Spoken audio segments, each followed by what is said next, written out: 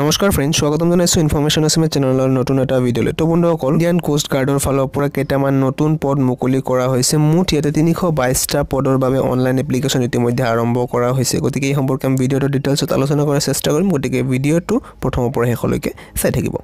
চ' বন্ধুসকল নটিফিকেশ্যনটো মুকলি কৰা হৈছে জইন ইণ্ডিয়ান কোষ্ট গাৰ্ডৰ ফালৰ পৰা। কি কি ধৰণৰ পষ্ট মুকলি কৰা হৈছে? Navik general duty domestic branch য়ান্ত্ৰিকৰ বাবে মুকলি কৰা হৈছিলে। আৰু ইয়াৰ ইলিজিবিলিটি ক্ৰাইটেৰিয়াসমূহৰ বিষয়ে কি কি ইলিজিবিলিটি ক্ৰাইটেৰিয়া লাগিব সেই সম্পৰ্কে মই আগতে এটা ভিডিঅ' বনাইছিলোঁ। আপোনালোকে যদি সেইটো চোৱা নাই তেন্তে প্ৰথমতে সেইটো ভিডিঅ' চাই ল'ব। ডিছক্ৰিপশ্যনত লিংকটো দিয়া আছে। তাৰপিছত এইটো ভিডিঅ' চাব নিশ্চয়কৈ তেতিয়া ভালদৰে বুজিব পাৰিব। এতিয়া আজি আমি ভিডিঅ'টোত আলোচনা কৰিম ইয়াৰ চিলেকশ্যন প্ৰচেছৰ বিষয়ে। ইয়াতে চিলেকশ্যন প্ৰচেছৰ ক্ষেত্ৰত প্ৰথমতে ইয়াতে stage one stage two stage three আৰু ষ্টেজ ফ'ৰ ট'টেল চাৰিটা ষ্টেজত চিলেকশ্যনটো ইয়াতে লোৱা হ'ব। ষ্টেজ ওৱানৰ ক্ষেত্ৰত ৰাইট এণ্ড এক্সামিনেশ্যন লোৱা হ'ব। ৰাইট এণ্ড এক্সামিনেশ্যনৰ ক্ষেত্ৰত চাওক নাভিক ডি বি অৰ্থাৎ ডমেষ্টিক ব্ৰাঞ্চত ছেকশ্যন ওৱানত আৰু ইয়াতে passing mark unreserved E W S O' B C যদি হয় আপুনি তেন্তে থাৰ্টি মাৰ্কছ লাগে। যদি ইয়াতে এছ চি নাইবা এছ টি কেটেগৰীৰ পৰা হয় টুৱেণ্টি ছেভেন হ'লে পাছিং মাৰ্ক ইয়াতে হৈ যাব। আৰু ইয়াতে নাভিক জেনেৰেল ডিউটিৰ বাবে টোটেল ইয়াতে পাছিং মাৰ্ক টু ফিফটি লাগিব কমচে কম unreserved E W S O' B C হ'লে আৰু এছ চি এছ টি হ'লে ফৰ্টি ফ'ৰ হ'লে ইয়াতে হৈ যাব।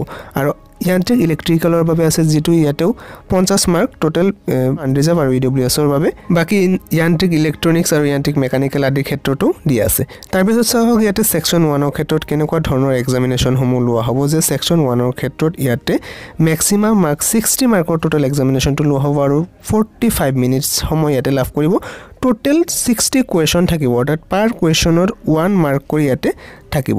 আৰু ছাবজেক্টসমূহ এতিয়া চাওক যে মেথছৰ ক্ষেত্ৰত ইয়াতে টুৱেণ্টি মাৰ্কছৰ কুৱেশ্যন আহিব আৰু ছায়েন্সৰ পৰা টুৱেণ্টি টেন মাৰ্কছৰ আৰু ইংলিছৰ পৰা ইয়াতে ফিফটিন মাৰ্কছ ৰিজনিঙৰ পৰা টেন আৰু জি কেৰ পৰা ফাইভ মাৰ্কছৰ কুৱেশ্যন আহিব। আৰু ইয়াৰে ক্ষেত্ৰত চিলেবাছটো ক্লাছ টেনৰ চিলেবাছ হ'ব। যিহেতু ইয়াতে মেট্ৰিক পাছলৈ এপ্লাই কৰিব পাৰিছে গতিকে ইয়াতে ক্লাছ টেনৰ চিলেবাছটোৱে আহিব। ছেকশ্যন টুৰ ক্ষেত্ৰত ইয়াতে ফিফটি মাৰ্কছৰ এক্সামিনেশ্যনটো হ'ব আৰু টাইমটোত আধা ঘণ্টা সময় লাভ কৰিব। আৰু টোটেল ইয়াতে পঞ্চাছটা কুৱেশ্যন থাকিব। মেথছৰ পৰা টুৱেণ্টি ফাইভ ফিজিক্সৰ পৰা টুৱেণ্টি ফাইভ আৰু যদিহে আপুনি ইয়াতে ইলেক্ট্ৰিকেল নাইবা মেকানিকেলৰ বাবে এপ্লাই কৰে তেন্তে আপোনালোকৰ এনেকুৱা ইলেক্ট্ৰিকেল মেকানিকেল আদিৰ পৰা কুৱেশ্যনবিলাক আহিব। আৰু যদিহে আপুনি ষ্টেজ ওৱানৰ ৰাইট এণ্ড এক্সামিনেশ্যনটো কোৱালিফাই কৰে তাৰপিছত আপোনালোকৰ ষ্টেজ টুৰ এক্সামিনেশ্যনৰ বাবে যে আপুনি ইলিজিবল হয় তাৰ বাবে এটা মেৰিট লিষ্ট প্ৰস্তুত কৰা হ'ব আৰু আপুনি ই এডমিট কাৰ্ড লাভ কৰিব ষ্টেজ টু এক্সামিনেশ্যন দিয়াৰ বাবে। তাৰপিছত আপোনালোকৰ ষ্টেজ টুৰ ক্ষেত্ৰত ইয়াতে প্ৰথমতে ফিজিকেল টেষ্ট লোৱা হ'ব। ফিজিকেল টেষ্টৰ ক্ষেত্ৰত যেনেকুৱা ধৰক one point six kilometre running কৰিব লাগিব উইদিন ছেভেন মিনিটৰ ভিতৰত আৰু লগতে টুৱেণ্টি স্কোৱাটছ আপ উঠক বেঠক মাৰিব পৰা হ'ব লাগিব লগতে টেন পুছ আপ তাৰপিছত আপোনালোকৰ ইয়াতে ডকুমেণ্ট ভেৰিফিকেশ্যনটো লোৱা হ'ব। তাৰপিছত ইয়াতে মেডিকেল টেষ্টো পাতিব। নেক্সট আপোনালোকে যদি তাতে ষ্টেজ টুত কোৱালিফাই কৰে তেন্তে আপোনালোকৰ ইয়াতে ষ্টেজ থ্ৰীৰ বাবে আপুনি ইয়াতে ইলিজিবল হ'ব। য'ত আপোনালোকৰ ডকুমেণ্ট ভেৰিফিকেশ্যনটো লোৱা হ'ব।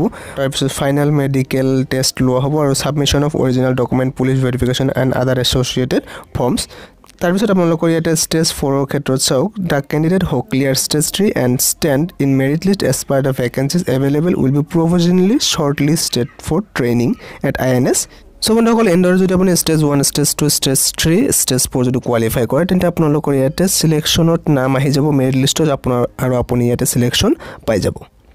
এতিয়া চাওক ইয়াতে এপ্লাই কৰাৰ বাবে ডকুমেণ্টছবোৰ কি কি বিচাৰিছে। কম্পালচাৰী ডকুমেণ্টবোৰ কি কি বিচাৰিছে। প্ৰথমতে পাছপৰ্ট চাইজ ফটোগ্ৰাফ একপি বিচাৰিছে। যিটো ফটোগ্ৰাফ আপোনাৰ পোন্ধৰ ডিচেম্বৰৰ আগত পোন্ধৰ ডিচেম্বৰ টু থাউজেণ্ড টুৱেণ্টি ওৱানৰ আগত হ'লে নহ'ব।